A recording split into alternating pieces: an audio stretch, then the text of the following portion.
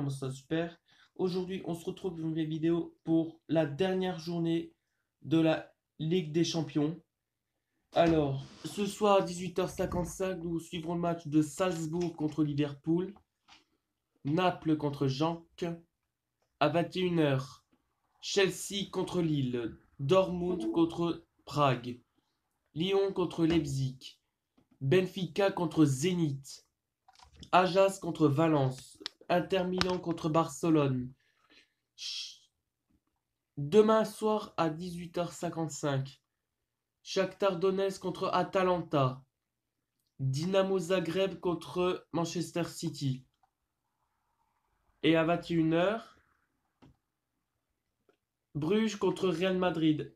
Atlético Madrid contre Moscou Lokomotiv. Bayern Leverkusen contre Juventus.